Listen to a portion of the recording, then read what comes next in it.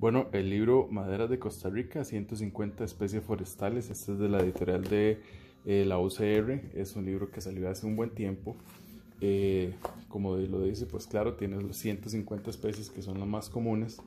Y eh, la estructura del libro básicamente es, viene con, está muy bien hecho este libro, viene con un corte, ¿verdad?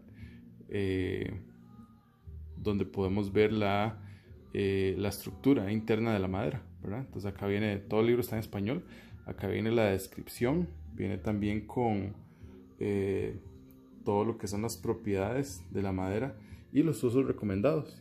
También, pues claro, viene con fotos de la madera. Entonces por acá podemos ver los colores internos y los patrones tan característicos que tienen las diferentes especies.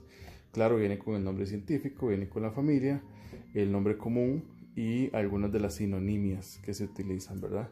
Distribución también, la descripción eh, como tal del árbol no trae la foto del árbol porque está más eh, tirado, ¿verdad? A lo que es la parte de la madera, ¿ok?